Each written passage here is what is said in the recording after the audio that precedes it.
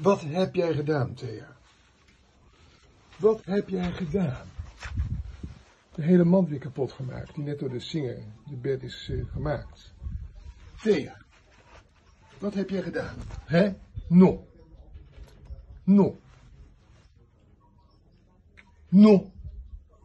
Een stout hondje. En bij Puppy, pas op hè. Maar wie is er verantwoordelijk voor? Niet jij.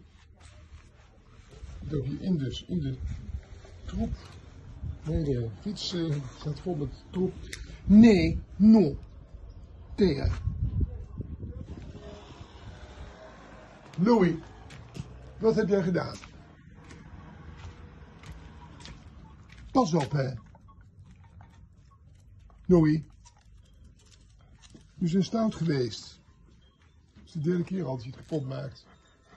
Nou Bert, de, de ding is weer kapot, de mand.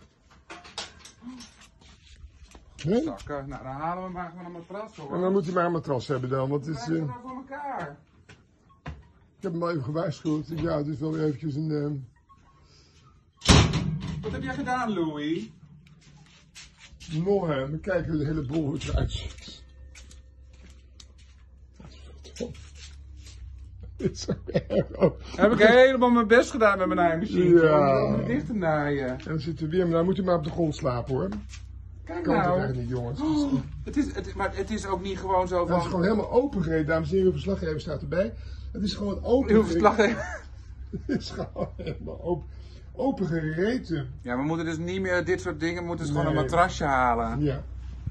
Het zit overal aan, dat spul. Hè? Nou, eh. Kom jij eens hier, Louis.